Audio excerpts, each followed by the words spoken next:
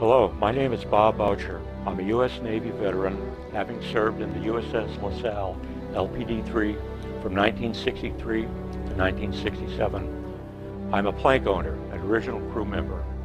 I grew up in Collinsville, Connecticut, and we've lived here in Wallingford for over 40 years. On February 22, 2013, along with Cameron Carey, a naval officer and also a USS LaSalle plank owner, we visited Medal of Honor recipient Captain Thomas Hudner, Captain USN retired. We met with Captain Hudner as a courtesy to a former USS LaSalle crew member, Paul Barter of Indiana. Paul served in the LaSalle during 1979-1980. After his tour in the LaSalle, he transferred to the destroyer USS Jesse L. Brown. Paul told me the story of Thomas Hudner and Jesse L. Brown and how Lieutenant J.G. Thomas Hudner attempted to rescue his wingman, Ensign Jesse L. Brown, during the Korean War at the Chosin Reservoir while flying a recon mission for the U.S. Marines in December 1950. This story that I'm about to share with you about two young naval officers from very different backgrounds. Tom Hudner was born in August 1924. He grew up in Fall River, Mass. His father owned a chain of grocery stores. Life was good. There were four brothers, all went to Phillips Academy in Andover, Mass. Two went to Harvard, one went to Princeton, and Tom went to the United States Naval Academy at Annapolis. Tom's classmates included Medal of Honor recipient Admiral James Stockdale, who was a POW for seven and a half years at the infamous Hanoi Hilton. He received the Medal of Honor for his steadfast refusal to give in to his North Vietnamese captors. Another classmate was Admiral Stansfield Turner, a future CIA director. Fourteen of his classmates became U.S. Navy admirals. Jesse Leroy Brown was born in October 1926. He and his five siblings were raised by sharecroppers in Hattiesburg, Mississippi. His parents, although very poor, stressed to their children the importance about doing your absolute best in school. When Jesse was six years old, his father took him to an air show. That did it for Jesse. Flying became his dream. Jesse was the top student of his high school class. It was there he met his future wife, Daisy. Jesse applied to Ohio State University.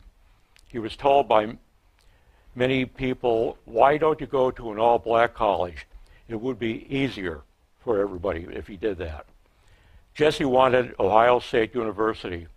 His idol, Jesse Owens, went there. He needed money for OSU.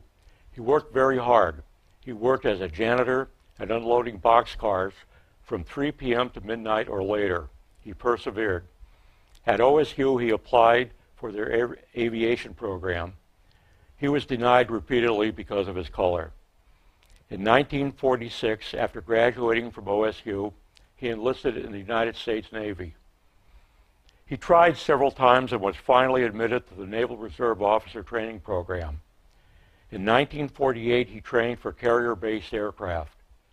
Sadly, he was a constant butt of racial slurs and insults by both enlisted and officers. While proudly wearing his uniform with gold wings on his chest at home, he was still told to get to the back of the bus. When Jesse graduated from the Naval Flight Training School program, the commanding officer of the group refused to pin the wings on Jesse. He had his executive officer do it instead. Jesse Leroy Brown was history's first black naval aviator. He was assigned to the carrier USS Leyte in October 1950. The ship was ordered to the Korean Peninsula. Tom Hudner was alone in the aviator's ready room when Jesse entered, and he introduced himself. Ensign Brown was a more experienced pilot than Lieutenant J.G. Hudner. They shook hands and became true friends. Jesse was well liked and respected by all crew members as an aviator and section leader. Jesse flew 20 combat missions in his F-4 Corsair. On December 4, 1950, while his squadron was flying reconnaissance for the U.S. Marines at the Chosin Reservoir, he was shot down by small arms fire. Near the end of November 1950, We had soldiers and Marines on the ground who were driving up in the vicinity of the Chosin Reservoir, headed on up towards the Yalu River, which is the dividing line between Manchuria and North Korea. Chinese were pouring across the Yalu River in great numbers and were attacking our troops and surrounding them, and they needed help desperately. We were flying above the mountains. The map showed that the terrain in this area would be as high as 6,000 feet. The flight was going on with um, uh, nothing unusual when Jesse called out that he was losing power, couldn't maintain altitude, and he thought he was going to have to crash land his airplane. When the plane hit the ground, it was bent at the cockpit at about a 30 degree angle, and the engine was torn off the airplane. Then we saw that the canopy of the aircraft had opened. Jesse had opened the canopy of the airplane and waved to us to let us know that he had survived. But he didn't get out of the airplane. And we saw that smoke was coming out from under the cowling of the airplane, indicating there was some sort of fire. Dick Cevoli came back on our frequency and said that a helicopter was on the way up, but it might be half an hour before it could get up there. And when I realized that Jesse's airplane may burst into flame before it could get there, I made a decision to uh, make a, a wheels up landing, crash close enough to his airplane, and pull him out of the cockpit and wait for the helicopter to come. The snow was about a foot and a half deep, and I, when I got over to Jesse's airplane, I could see that he was. Uh, the reason he hadn't gotten out of the aircraft was because as the fuselage had buckled, it had pinned his knee in the plane. And on the Corsair, there isn't a horizontal surface in the whole airplane. The wings come down from the fuselage and then go up about six feet out from the fuselage. So getting up to look into the cockpit was difficult. I had to hold on with one hand just to hold on to the cockpit. I scooped up handful of snow and threw it up under the cowling, trying to. I knew I wouldn't put the fire out if there was a fire, but at least to um, dampen anything that was in there. A standing order for naval aviators is never crash land an aircraft to attempt a rescue. Tom disregarded the standing order and crashed his Corsair near Jesse's plane at the base of a mountain. The last transmission was, I don't want my friend to die alone. Tom hurt his back. He burned his hands and his arms, scooping two feet of snow under Jesse's plane to put out the fire. The planes were approximately at a 35 degree angle at the mountain's base. Tom was unable to extricate Jesse's leg from the crash cockpit. And after about half an hour of this, a helicopter arrived on the scene. The pilot came over to help. The helicopter pilot, Charlie Ward, worked with Tom to try to free Jesse's pinned leg. Charlie and I worked worked for about 15 to 20 minutes, seeing that there was absolutely nothing we could do. Max just bounced off the fuselage. It did no good at all. Jesse did say, if you guys have a knife, cut my leg off. They had nothing at all to do this. Helicopters in 1950 were unable to fly at night. It was getting dark. The temperatures at night range from 25 to 35 below zero. Charlie called me aside and he said that those helicopters were not equipped for flying at night and he couldn't stay, he had to go. And he gave me the choice of uh, staying with Jesse or going with him. It would have been suicide to have stayed. Jesse had been wavering in and out of consciousness. I wasn't sure when he was conscious and when he wasn't. The temperature was at least around zero and went as low as 35 degrees below zero at night. And um, i made the decision to go with Charlie. I told Jesse we were going back to uh, get equipment. We couldn't couldn't get him out of the airplane as it was. And I don't know if he, if, if he heard me, I don't know if he was alive at the time. Jesse was in and out of consciousness. Jesse called Tom over and told him, Please tell Daisy how much I love her. He then put his head down. Tom felt these were Jesse's last words. The Chinese and North Korean troops were edging their way in. Tom was certain that when he returned to Carrier Leyte, he would be restrained and held for court-martial. Instead, the flight deck commanding officer shook hands with Tom. When I got back out to the ship, captain called me the bridge right away, and he had the helicopter ready, the ship's flight surgeon, and he had a number of aircraft. He was going to take that carrier in as close to offshore as he possibly could, send the flight surgeon and the helicopter to the site of the wreckage, cut Jesse's body out of the airplane, and bring him back to the ship. And I told him it was a very humane but only a symbolic gesture because it was much, much too dangerous to do so. Later, a squadron of Corsairs flew out to Jesse and the wrecked planes, ceremoniously circled the Chosin reservoir mountain, dropping bombs and napalm on both planes and Jesse's body.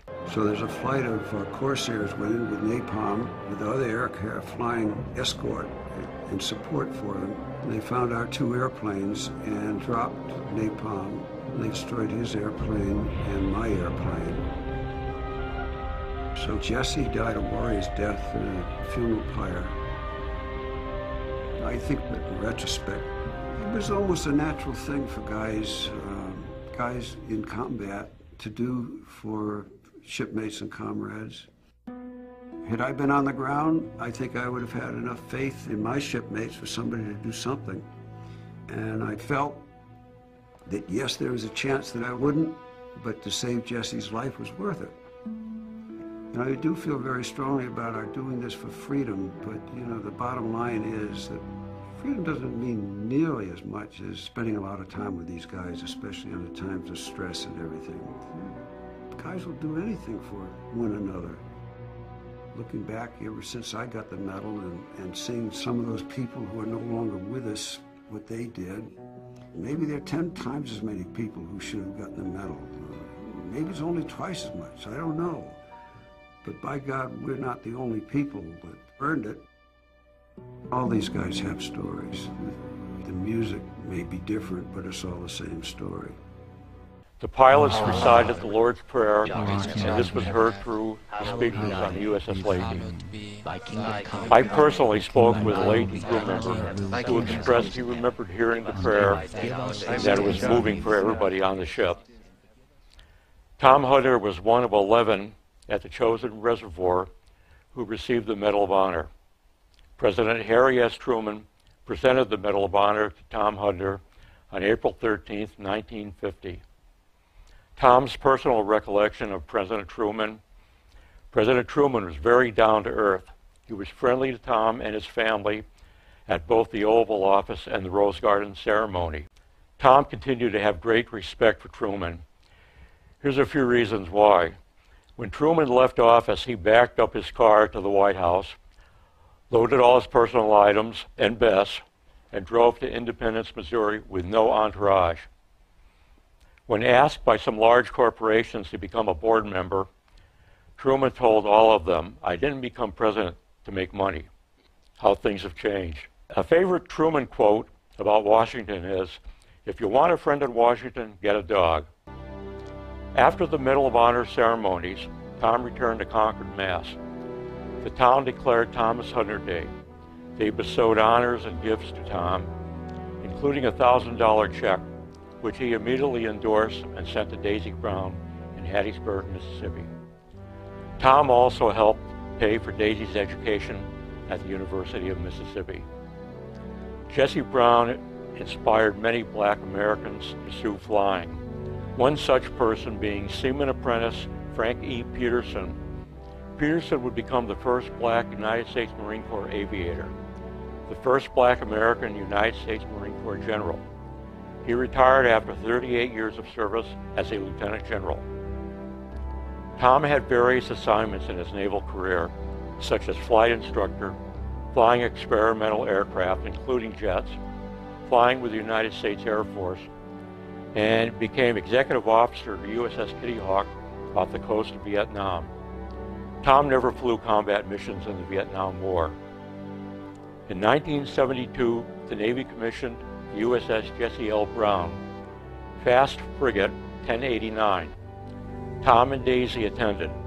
As a speaker at the ceremony, Tom said, Jesse died in the, in the wreckage of his airplane with courage and unfathomable dignity.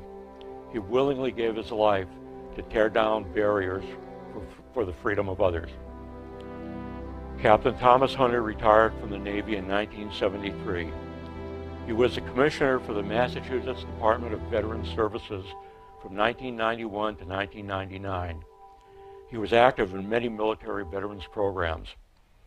Currently, a guided missile destroyer, the USS Thomas Hudner DDG 116, is being built at the Bath Iron Works in Maine.